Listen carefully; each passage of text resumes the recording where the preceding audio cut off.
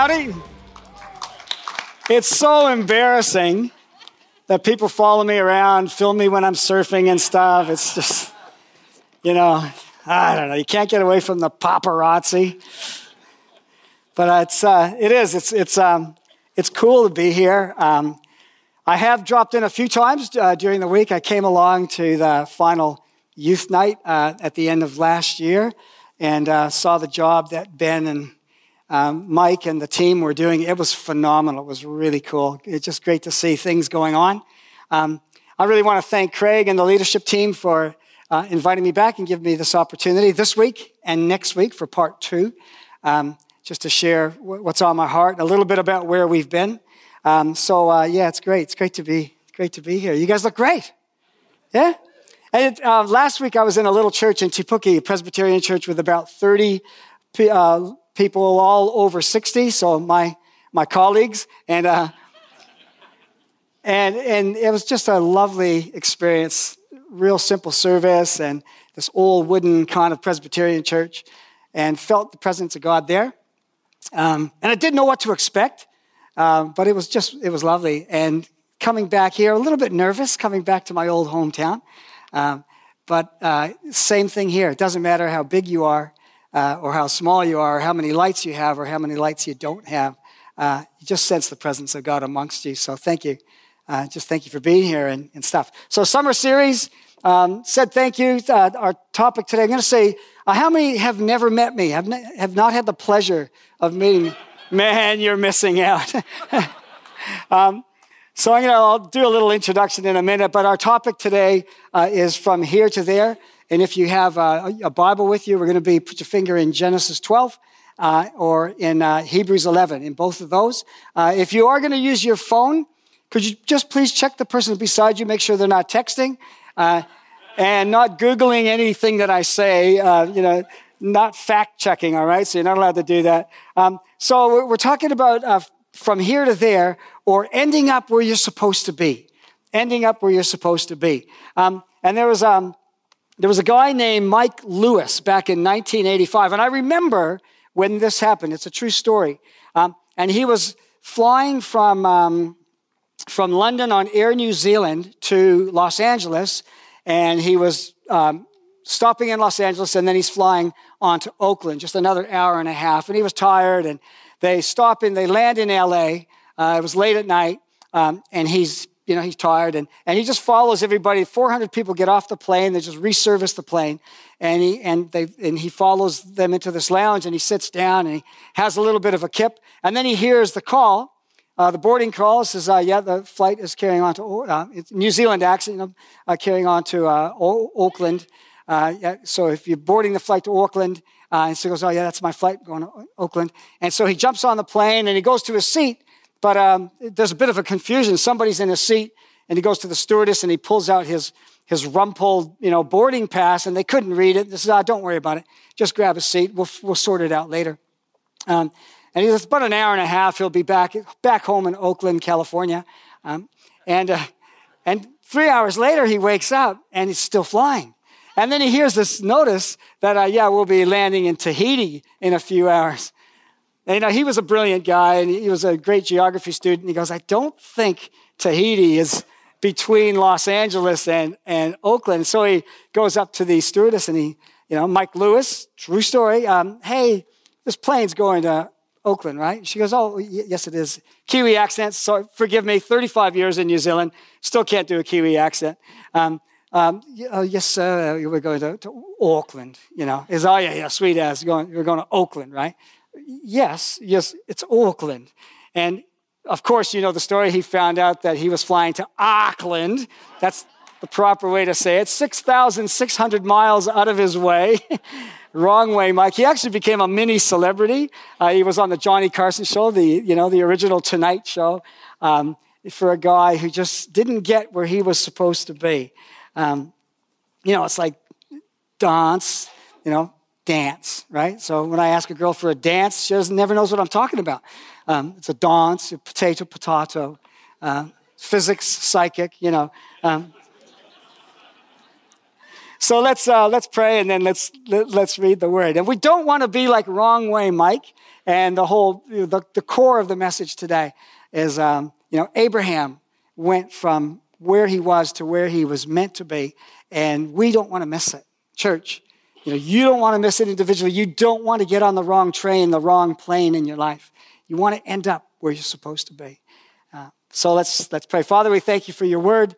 Uh, thank you for this great church, Father, and, and what's gone on in the past and w- the great plans that you have for every individual, every family, uh, and for this town and for this church in the future. We thank you, God. We pray that you'll uh, take your word today and do what only your word can do, Father. Change our hearts, break our hearts, and may we all step forward today because of the hearing of your word. In Jesus' name, amen. So, open up your phones, no texting. The Lord said to Abraham, uh, Leave your country, um, leave your country, your people, your father's household, and go to the land I will show you. I will make you into a great nation, and I will bless you. I will make your name great, and you will be a blessing. I will bless those who bless you, and whoever curses you, I will curse. And all the peoples on earth will be blessed through you. By faith, Abraham, when called to go to a place he would later receive as his inheritance, he obeyed and he went. And even though he did not know where he was going, by faith, he made his home in the promised land like a stranger in a foreign country. He lived in tents, as did Isaac and Jacob, who were heirs with him of the same promise. For he was looking forward to the city and foundations whose architect and builder is God. By faith, Abraham, even though he was past age, now we've moved on to Hebrews. Sorry, that last slide, and this one we're in Hebrews 11. And by faith, Abraham, even though he was past age, and Sarah herself was barren, was enabled to become a father because he considered him faithful. He considered him faithful who'd made the promise. And so from this one man, and he as good as dead, came descendants as numerous as the stars in the sky and as countless as the sand on the seashore. May God bless the reading of His word, and may that be the future of this church. Uh, and may that be your future. Uh, so, from here to there, uh, just a little bit about myself for those of those who don't know me. I was born in Canada of Italian immigrants to um, central Canada around Toronto. Um, I met Jesus and went to high school there and stuff, and, and we were Catholics, but I didn't know God personally. When I was 20, um, amazing guy came into our lives, friend of my brother's, and he led my whole family came to Christ. I was praying for that when I was like six years old. I can still remember saying, if you're there, uh, if there's a heaven, man, I'd love to be there. And my mom and dad and my brother, my sister and my brothers. And, and that prayer was answered. Isn't God great? Um, and this guy came into my lives, I, and I became a Christian when I was a kid, I had a, uh, I'd watch these movies of guys that would come into ghetto schools and, and win over these troubled kids. You know, there was a, an old movie called Blackboard Jungle with Victor Morrow and Sidney Poitier. And I, and I was like a little kid. I said, that's what I want to do with my life. And I wasn't a Christian, uh, but I just said, man, that's the coolest thing in the world, helping out these young people. Even though I was like seven and the young people were like 16, I wanted to help these young people. Now I'm like 80 and the young people are, you know, 16. So, and, uh, and so, uh, so yeah, became a Christian. Went to Bible college, Tyndale Bible College in Toronto. Uh, uh, graduated out of there uh, in 82, 83. Um, I wasn't quite ready to, to get into the real world, so I felt the Lord calling me to ski for five years. so I moved out to a beautiful place called Banff, Alberta. Who's been there? Who's seen it? Unbelievable place, like, like Queenstown. And lived there for five years, praying to meet you know, a girl that would deserve me. And, um, and, and she, she appeared exactly what I'd been praying for. And we were married, uh, came back to her hometown, Maketu. And, uh, you know, yeah, you can tell I've been eating those meat pies. Eh? And, uh, and we, um, Yes, and, and, you know, I was praying for, you know, I always wanted to serve God and started working at Te Puke Baptist Church as a youth pastor, uh, as, as, helping volunteer youth pastor in 1989, and I stayed there for 18 years. Um, that's right. Rob will tell you, Rob Stacy, good to see Rob. Give Rob a clap. Hey, I, you know, I don't know if you know this guy. I've, I've known Rob for years in the youth pastor circuits. And uh, just a word of warning, don't listen. Keep an eye on this guy, all right? You know, very dangerous. Um, but it's good to see you, man. And um, Uh, yeah, so youth pastor there, and um, yeah, I was a legend in my own mind because I stayed at that same job. I was too stupid to quit, and I stayed there for 18 years and had a, had a, just a ton of fun and, and uh, serving God and saw that ministry grow. And then we went, Briar and I were praying, and we decided to go back to Canada for two years to be with my, my dad had passed away, and we spent two wonderful years with my mom and my brothers uh, over on the west coast of Canada. Um, and came back here just saying, "Oh man, am I too old? I, I don't want to be a, I don't want to step down to being a pastor. You know, I want to, but I'm too old. Surely I'm too old to be a, a youth pastor. I was in my 50s, and I got a call from Ross Horton from this church, and he said, "Hey, can you help us for you know, we just need an interim youth pastor. And I, I said, yep, I'll come for three months. Seven years later, uh, just had a blast. Uh, and really, I mean, you know, not to, not disparaging on anywhere else where I've worked, really the seven best years of ministry of my life. It's, I love this church. Give yourselves a hand. Um, it really was. Um, finished up there, and then and then my wife and I, um, we've just been planning this for our whole lives. So I had a big birthday, a 40-ish year old birthday, and uh, and so we did this trip. Um, and you can't really see it too clearly, but uh, and this this is my from here to there, and Briar and I, it's our from here to there. Uh, she went back to her roots, so Cornwall. She's got some of her family. Who's been to Cornwall, England? you know, I just, I, I had no idea. I, I, I, just wanted to get through England and get to Italy, right? The center of the universe. And, uh, and I thought, you know, England, it's smokestacks and concrete. And man, Cornwall is beautiful. So Briar connected with her roots. Then we went to Scotland and she found the Crichton Castle, um, which is her, the other side of her family. Uh, and the Crichton Castle, it wasn't one of those fancy tourist jobs. It was out in a field. It was a rainy day. It, I mean, it looked like the real deal. I thought some knights would come out, cut our heads off. And, uh, and Briar, uh, you know, Briar goes up, and there's only one little tourist guy there, you know, give us a couple pence to go look around. It was beautiful, this red, uh, this tan kind of brick thing, massive thing. And she gets to the front door and, and tells the guy, get out. Um, this is my castle. And, uh, Went to Switzerland, and just amazing trip uh, where my mom and dad met. Uh, so after the war, they went to Switzerland. They, they, they met there, got married there, came to Canada. Um, that little town there that you can barely see, that's Ponte di Legno, where I, my whole life I've heard about this town. Uh, this beautiful little ski town nestled in the mountains where my dad used to go skiing. So we spent two or three wonderful days there. Uh, went to, did a beautiful trip across the states visiting our kids. And so it's a little bit of here to there and, and uh, for us. Um, in this little church, this, in, in my dad's town still has only about a thousand people, Capriolo in northern Italy, uh, just right on the, the on, right at the foot of a valley going straight up to the Italian Swiss Alps. And there's this little church, um, and, uh, and, and there was this beautiful angel uh, carving. And I just snapped a picture because it really captivated me. Um, and, um, uh, and, and then there was this painting of this guy up in, in, in, the, in the dome. Now, when I say it's a little church, um, you know, and, and, not putting down New Zealand, but you go to a little town and there's a little church, it'll be like a little wooden structure, right? Um, and this little church here of a little town of a thousand people was absolutely beautiful. Like a mini basilica, like St. Peter's. It's just marble floors and just amazing statues. And we were, we were blown away by, um, you know, and, you know, whether it's, you know, we don't know where the people's hearts are at, but the amount, the, the work and the effort that people for hundreds of years, thousands of years have put into trying to worship God.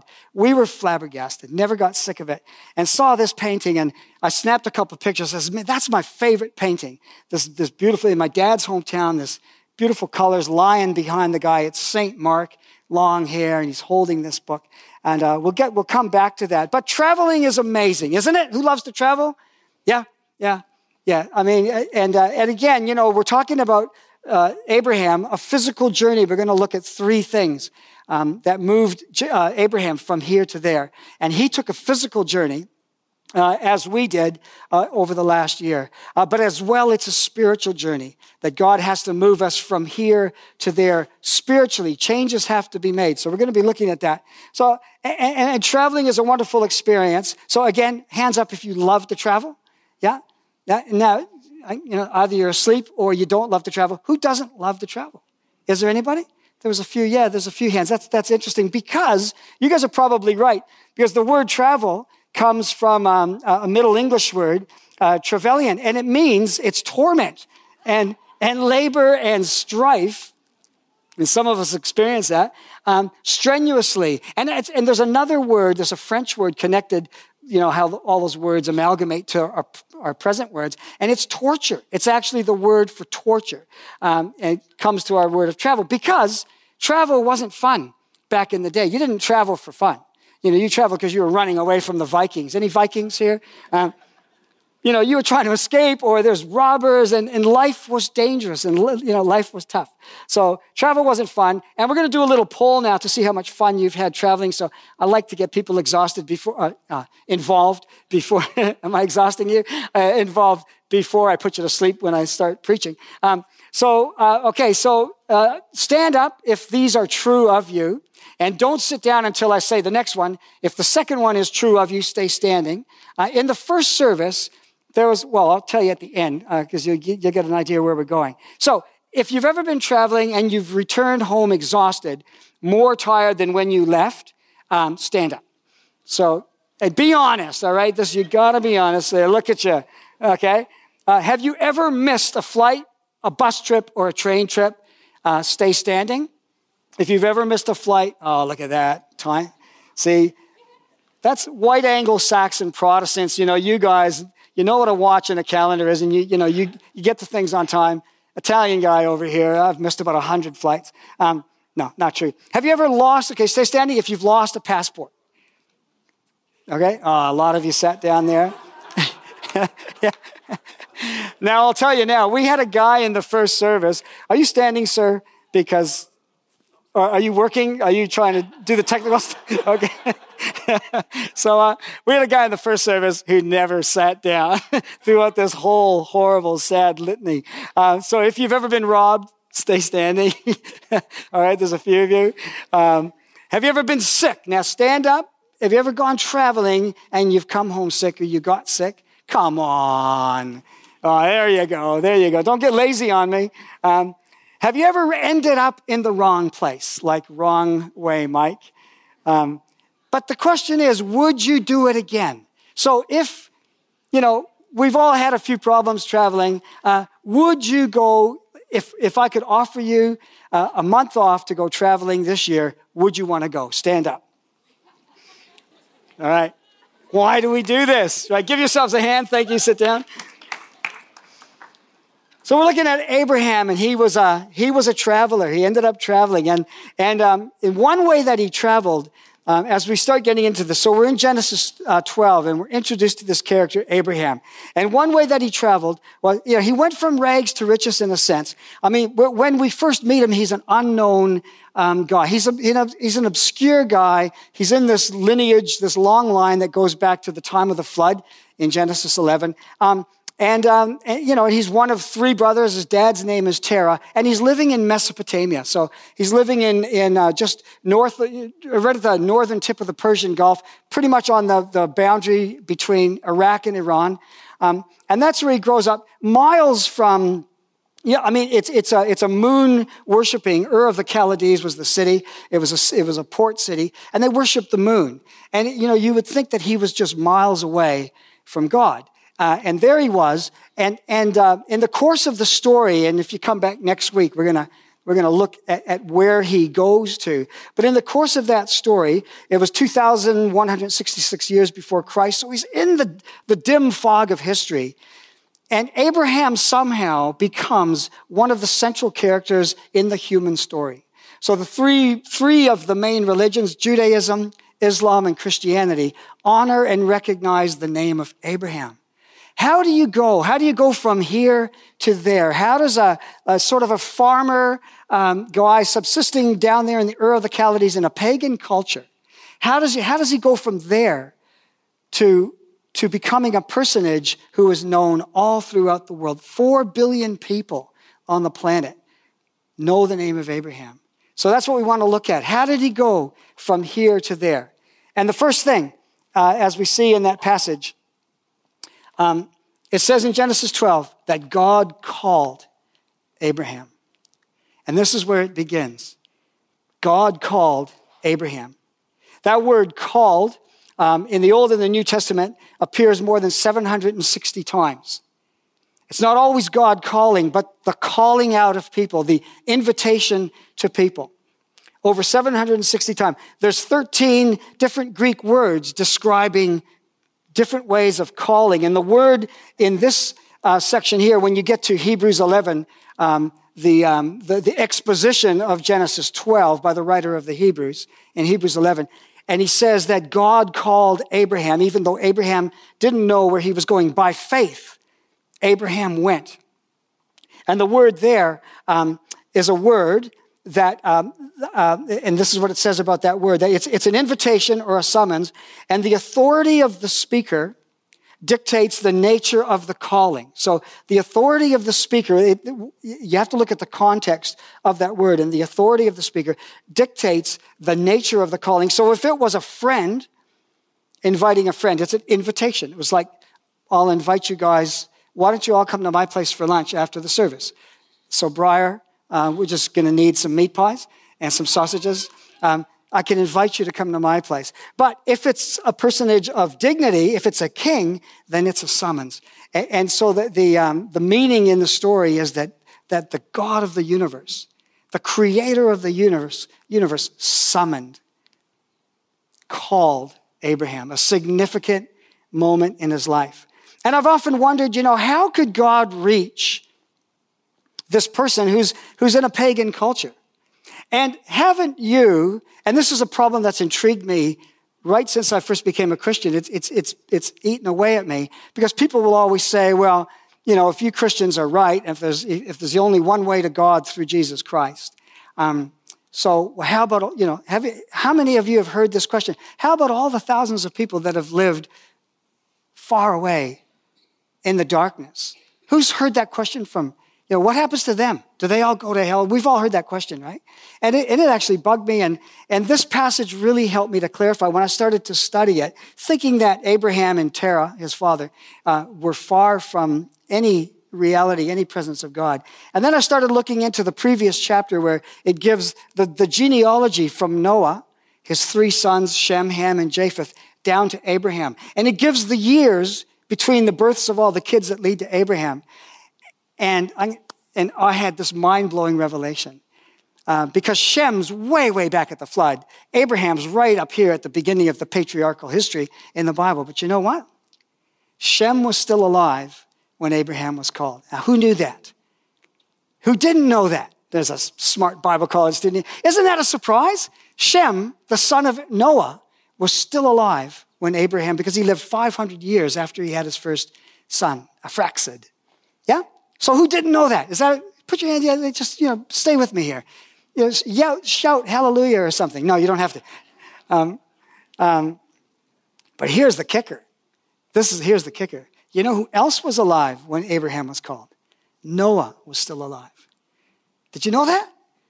So, Noah, uh, uh, Abraham wasn't far from God at all, was he? because he had two of the great names in the Bible living nearby, and he would have heard the stories of the flood, and he would have known the God of Israel, and then the God of Israel called him. So, my point here is I wonder how close or how far you are feeling today from the creator of the universe. And I wonder if you're feeling obscure and unknown, just one grain of sand amongst a trillion grains of sand on a beach. Nobody knows you. You're just hidden away. Your life is insignificant. And you're just going to get through this life. You're a nobody. I wonder how many of you are feeling that way. And Abraham was in, in the hands of God. And Paul says, when he's preaching to the Athenians in the book of Acts in, in chapter 17, he says that in God we live and move and we have our being. We are never far from God. Amen?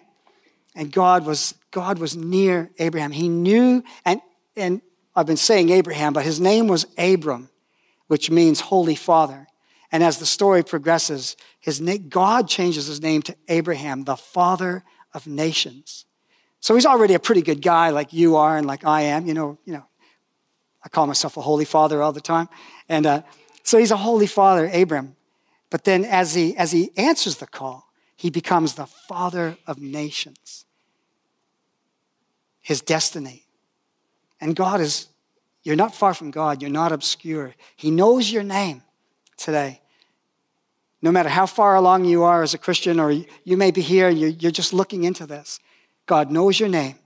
He knows where you've come from. He knows everything about you, and He's calling you today.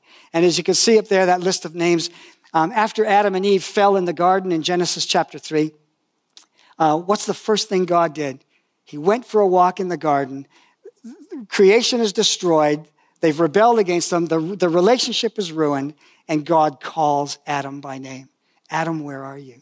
He went looking for him. Samuel, God spoke to him in the night and changed the nations through the prophet Samuel. Moses, when they were enslaved in Egypt, God called Moses through the burning bush.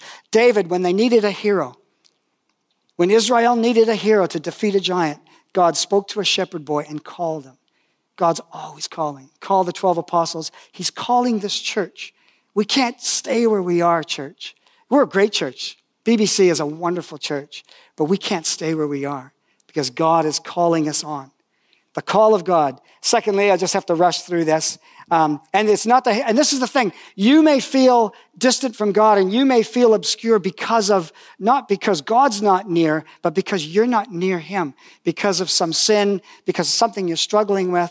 And you know that you're not worthy of God. But this is what Jesus said. It is not the, the healthy who need a doctor, but the sick. And I have not come to call the righteous, but to call sinners in repentance. So that's why I can stand here knowing all the faults that I have and all the problems I have. I know that uh, Jesus, God, doesn't, He doesn't come for the shining, bright, righteous guys. He comes for guys like me. And He comes for people like you. So He's calling you. So, um, secondly, the command to leave. Um, and just really quickly, when God calls, there's something that, have, that has to be left behind. I mean, it's just logical, but it's also very spiritual. When God calls you and you hear his voice, and remember, you, you have to be attentive to his voice. Um, you have to open your heart and you have to open your ears. And, and he's always calling. His call is constant. It's compassionate. And it's compelling. He'll compel you to change locations. But you have to open your ears. And once you've heard that voice, then what you'll hear is something needs to be left behind. Abraham had to leave his country, his people, and his family. He had to basically step out of his comfort zone. And so if you're going to hear God's voice and respond, he will ask you to leave something behind. Um, and that's could be physical. He could be calling you to be a missionary in the deepest, darkest Maketu. Talk to me later. Um, so it could be physical. He could be asking you to go to another church, to go to another town, um, change jobs, leave some people behind, but, all, but often it's spiritual. To leave something spiritually, to eradicate something from your life, that, that like an idol, something that's holding you back, something that has, that, that has bound you, something that you're chained to. And he's asking you to leave it, leave it. And us humans, we naturally don't like to let things go. We sang it before, let go and trust in him. Let go and trust in him. So we have to leave something behind. Um, uh, uh, my daughter, when she was five and my son was three, where uh, my wife was at a Bible study in Te um, and they got into, a, you know, while they were having the Bible study, the kids got into a, a, lady's handbag and it had some antidepressants in there. And the kids, five kids, were eating these antidepressants. And, and, and my, you know, my wife just, oh, I wonder how the kids are, and saw all this pink around my little three-year-old son's lips. And she says, oh, you know, what's going on? They found out it was these, these pills straight down to the doctors. The doctors put them on an ambulance and straight, you know, straight to Tauranga Hospital. Five and three years old with a couple of other kids. And, um, and um, my, um, uh, they give ipecac to the children, and they all threw up except for my daughter, Bracia. She's very stubborn. She's 30 now. She's 30. And um, she, uh, she doesn't throw up. And we're in the ambulance, so she's going deeper and deeper into sleep. They hook her up to all these monitors and things, and she's sinking into, a, you know, I guess it's a coma. She's, she's not responding to pinching or anything. And, um, and I'm there in this ambulance, just, just going, this is, you know, my first daughter. She's only five. And, and I'm just like, you know, God, don't, you can't do this. I'm a pastor. You know, I, I preach this stuff. Got to serve God. You got to give everything away. Rich young ruler, you know, leave everything and follow me. And, uh, and, I, and I preached the stuff, and here I was, God, you can't do this. Can't take my daughter. And, and as we rode in the back of that ambulance, you know, a miracle really, because, you know, I'm panicking. And this great peace came upon me, this quietness. And I, you know, literally, I heard the voice of God or I sensed the voice of God just saying to me, Albs, you know, you're following after me, you're serving me. Are you willing to allow me to take your daughter? Are, would you be willing? And, and, I, and I, everything got real quiet in my heart, rushing away, and the sirens going, and I, you know, would you? And, and I just, and I said, yeah. Everything got quiet. I said, yeah, yeah. I'd hate it. It, you know, I'd probably be in a psych ward for a few decades, but yeah. But I'd be willing, God, because yeah, that's what that's my deal. When I followed you, when I said I'm following you, nothing on this earth will hold me. So yeah, I'd be willing. And um, you know, kept going about another 10 seconds. My daughter rolls over on the, be- on the bed and spews out all this stuff all over the ambulance. The greatest spew I've ever seen. he didn't take her, but he challenged me, tested me. And, and as he'll test you, are you willing? The last one is um, Abraham was given the command to go. So he had to leave and he had to go. Uh, go to the land that I will show you. By faith, Abraham in Hebrews, by faith, Abraham when called to go to a place that he would later receive as his inheritance, he obeyed and he went, even though he did not know where he was going. And the final point I want to make um, is this that, you know, when God calls us to go, um, most of us humans, it's natural. We want to know where. And you can see it in the, in the New Testament when, um, I'm going to go backwards here. Sorry when a teacher of the law came to him. So when, when Jesus is calling people to follow him, when a teacher of the law came to him, he said, Teacher, I will follow you wherever you go. And the point is, and Jesus picked this up. I, I, don't, I didn't pick it up reading it, but Jesus picked up, ah, he's interested in where he's going, what he's going to get out of it. And Jesus, and he says, I'll, I'll, go, I'll follow you wherever you go. And Jesus said, Foxes have holes and birds of the air have nests, but the Son of Man has no place to rest his head. And the, the short answer is that God is calling you to himself. God's calling you to leave behind, spiritually, to leave behind anything that ties you to this earth. Because we're only passing through. And he's calling you to the only thing that's eternal, the only thing that, that, that will last, and that's Himself. He's not calling you to a career, He's not calling you to a ministry, He's not calling you to people or a place, He's not calling you to be famous or rich, He's calling you to Himself. He who dwells in the shelter of the Most High, he who dwells in the house of the Most High, he who makes the Most High his everything he who dwells in the shelter of the Most High will rest in the shadow of the Almighty. So, just in closing, and uh, if I can have the, the, the, musicians can come forward. Um, Thomas said to him, Lord, we don't know where you're going, so how can we know the way? And Jesus answered, and this is this, this great verse, um, which it would be great for this to be a life verse for all of us. Jesus said, Thomas is again thinking of a destination. Maybe he's thinking of a career. Uh, as, as we all do, us humans, it's hard to get ourselves out of the picture and to focus on God and others, isn't it? Isn't it? Do you find that difficult? We often have ourselves at the, at the, at, on center stage in our heart's story. And Jesus said, um, Thomas said, I don't know the way. And Jesus said, I am the way. A person is the way. A person is your future, not a place, not a career. Jesus said, I am the way, the truth, and the life. No one comes to the Father except through me. You know, back to that painting.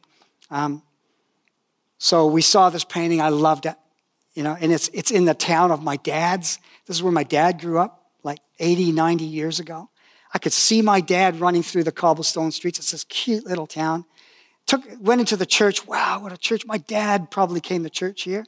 Took a picture of that guy, went back wandering around the streets, and then my cousin found us, Briar and I, and dragged us back to the church and said, I want to show you some stuff. Uh, we've already been in the church. Um, oh, yeah, I want to show you some stuff. And we went in, and I looked up, and, uh, and she said, See that painting up there?